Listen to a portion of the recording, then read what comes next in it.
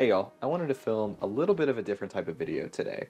We just installed a NAS, or a Network Attached Storage Device, here in our church, and we're using it to store our live streams and all sorts of other things on it. And I wanted to kind of give you guys a quick run through of that, as well as um, maybe why you should install one yourself. I figured I'd do this a little bit of a vlog style because it's over here in our server room and thought this might be a fun way to look at it. So first of all, what is a NAS? So again, like I said, it stands for Network Attached Storage, which basically just means it kind of acts like a giant hard drive on your network that you can talk to as long as you're on the same network as the NAS.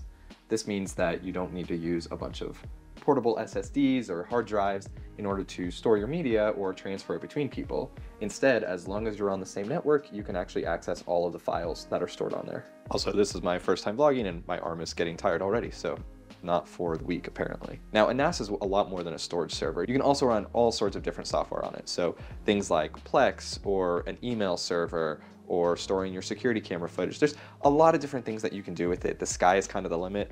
Now, us personally, I don't know that we're going to do much with it other than just like a basic storage server, but it's good to know that that's an option. So why would you use this versus just using hard drives? Well, one, you don't have to keep track of all of the portable hard drives and make sure that they don't go missing and grow some legs and walk away. You also don't have to know who has it to be like, hey, I need this file and um, Joe has that and he's at his house. Speaking of your house, you can actually access your NAS from your home as long as you set up your network correctly and allow people to do that if that's something that you need. It also allows for redundancy. So for example, in the way that we have ours set up right now, we can actually lose one hard drive, have it die completely, and we won't lose any data. Whereas if you're just using a standalone SSD, if that dies, you lose everything that's on it. Like it's just gone. We also have the ability to create snapshots of our data. So if somebody deletes the data that was on the drive, um, that's not really a big deal because we're creating snapshots a couple times a day.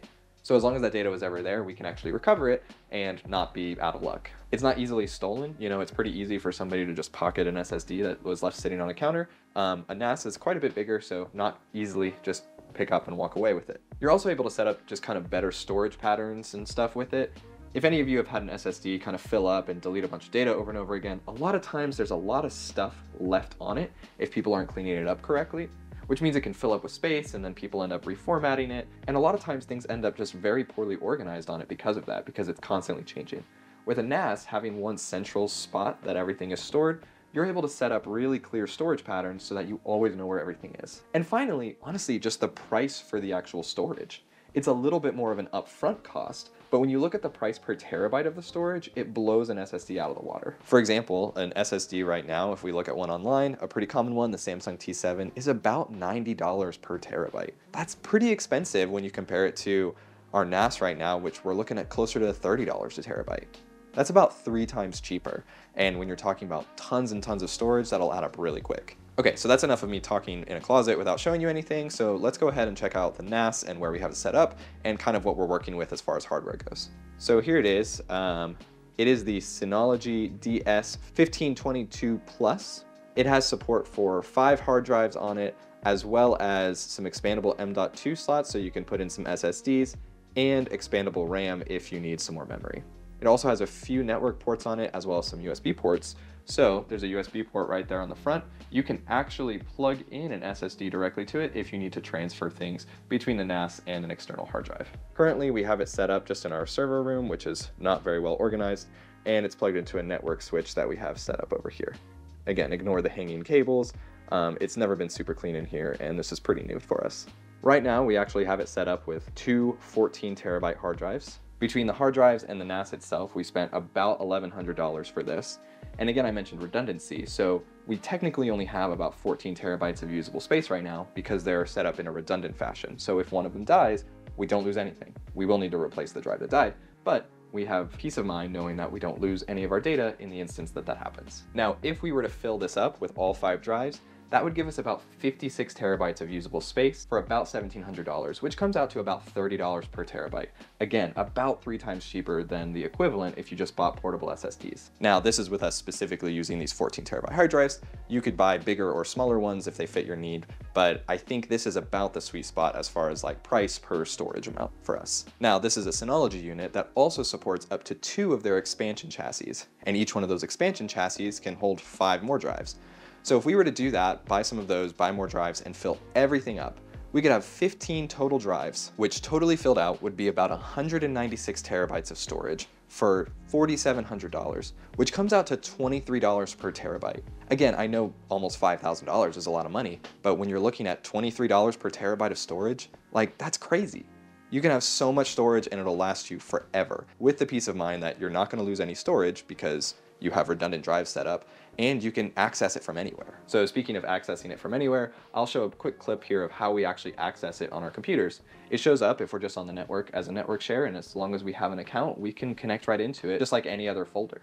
Then we can move stuff around, copy things to our local computer, or do whatever it is we need to do. When we're at home, all we need to do is connect to the VPN that we have set up, and then type in the IP address of the server and same thing, it shows up in Finder and we can navigate it like any other folder could. This is a little bit more complex to set up, but honestly, we followed some videos to do it, and it's really not that crazy if you have some technical know-how. Now, it's definitely not gonna be as fast as using a portable SSD, so when you're talking about large video files, if you're just sharing them from one person to another, it still might make sense to just put it on a hard drive and send it over. But when we're talking about long-term storage, it definitely makes sense to put it over here on the NAS. So transfer speeds, when we're on Wi-Fi, we get about 24 megabytes per second, but if we plug into a hardwired ethernet port, we get about four times that, closer to 100 megabytes per second. So if we're transferring smaller documents or pictures, it's not too bad to be on Wi-Fi, but if we're doing videos, you really need to be on ethernet. And like I said before, we can actually plug an SSD directly into it. So if we have a lot of large files that we need to transfer to or from the NAS, we can just plug that in and do it that way. We have seriously loved having this so far. It's only been a couple of weeks, but we can just store everything that we need to on here and know that anyone can get to it whenever they need to. This isn't just live streams, it's also any other videos that we produce, pictures that we take, media, graphic assets that we need to share amongst people.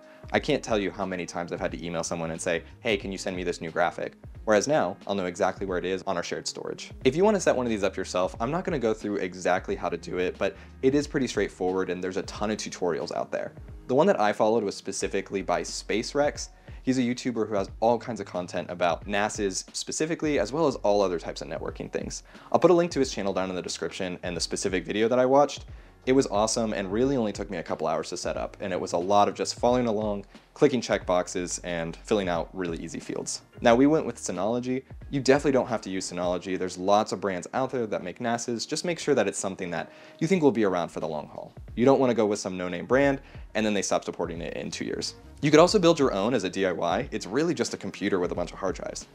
I thought about doing that because I'm pretty techy, but honestly, I didn't want to have to support it. Synology is pretty standard and has lots of documentation online, so if I ever leave, someone else can do it. Honestly, my biggest complaint is that we didn't do this sooner. I think this is a great investment and totally worth it. And again, you don't even have to fill up all the drives at first. Right now, we've only got a couple and we'll fill them up as we need it. It's gonna speed up our workflows and just make everything so much easier as far as storing video and editing things on the go, which makes us more efficient and able to do our job as church leaders more effectively. Until next time.